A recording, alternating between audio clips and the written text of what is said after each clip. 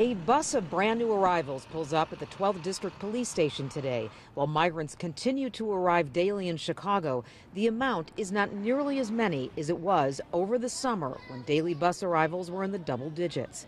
Today, the city is expecting only two buses.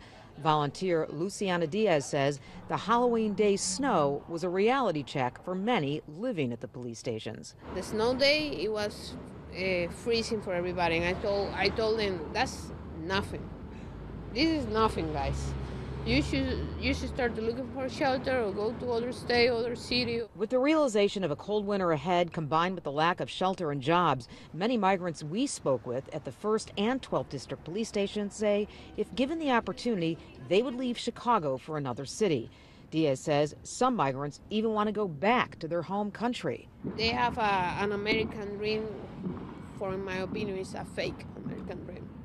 So if, they asking me a lot for if I know some somebody who can buy a ticket flight for them to come back to Venezuela. Six Ward Alderman Will Hall, who traveled to the border a few weeks ago, says word is spreading on social media among migrants that Chicago may not be the best place to come.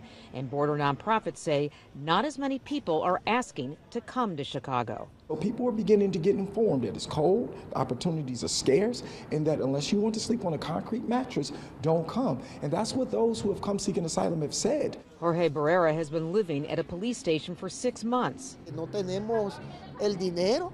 With no opportunity to work here, the 39 year old says he would leave, but he doesn't have the money or luxury to pack up and go to warmer places like California, Texas, or Miami.